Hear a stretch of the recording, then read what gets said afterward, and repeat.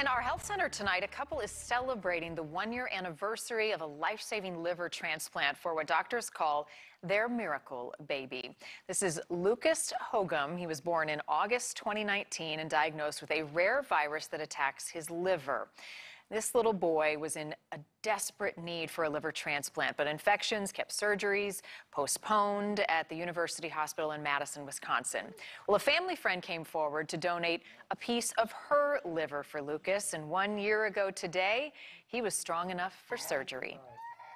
His prognosis is really quite good at this point. To reach it to this point after what he's been through, to have normal liver function, to be uh, growing and developing as a one-year-old would, uh, is remarkable. It was a roller coaster, and I think we're just starting to realize really all that he has been through in this year, and us as a family as well. Um, but it's just a miracle.